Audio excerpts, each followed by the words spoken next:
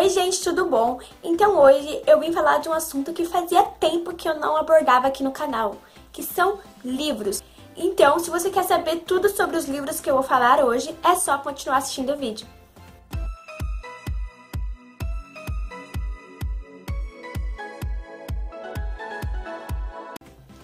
Bom, como vocês leram aqui embaixo, eu coloquei a melhor trilogia que eu já li até hoje. Sim.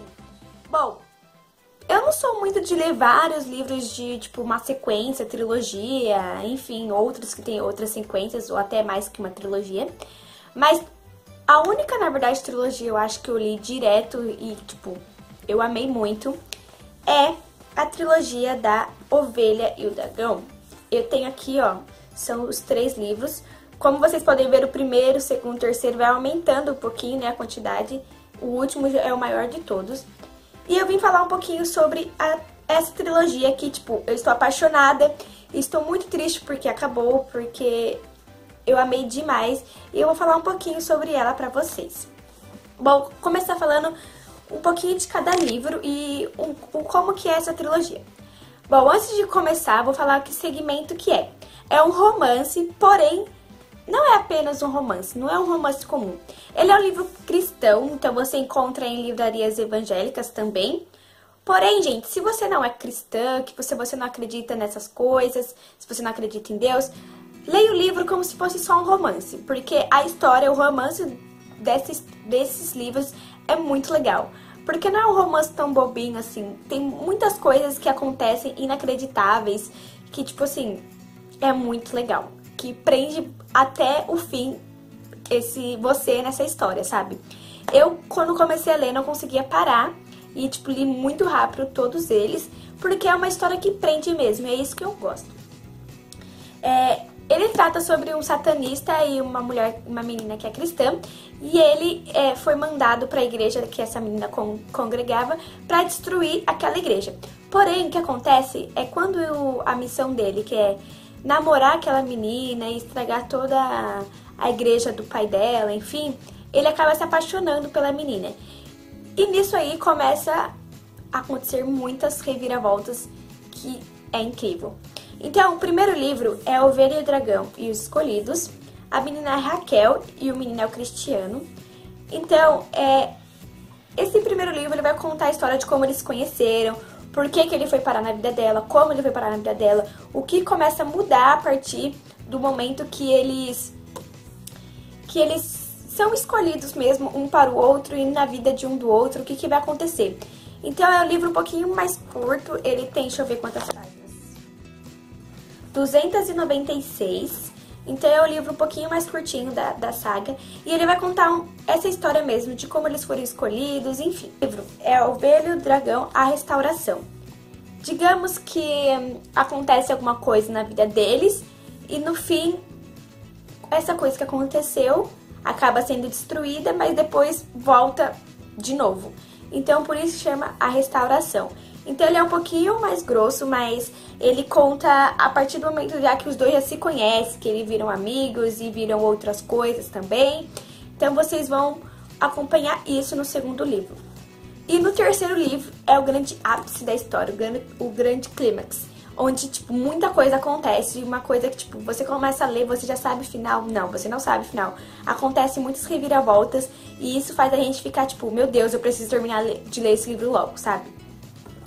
Mas o que, que eu queria falar pra vocês?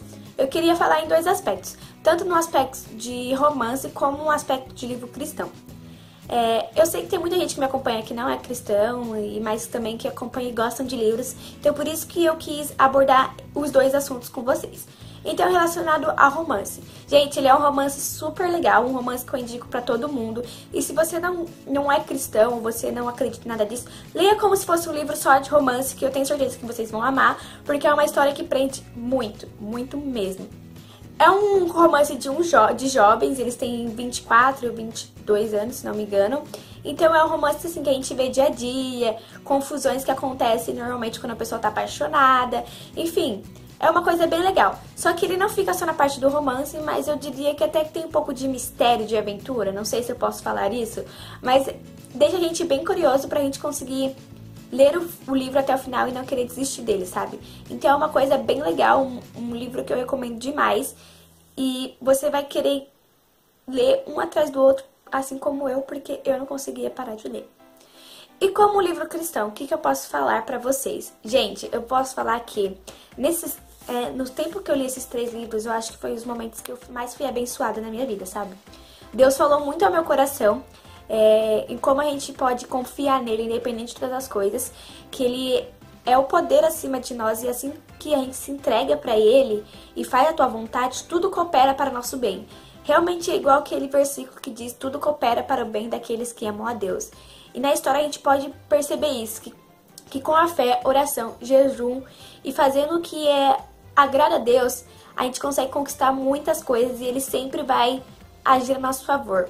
Claro que ele sempre vai fazer os propósitos deles para nossa vida. Então a gente aprende com esse livro a confiar em Deus, a ler mais a palavra, a orar, porque é muito diferente como a nossa vida fica quando a gente faz tudo isso, sabe?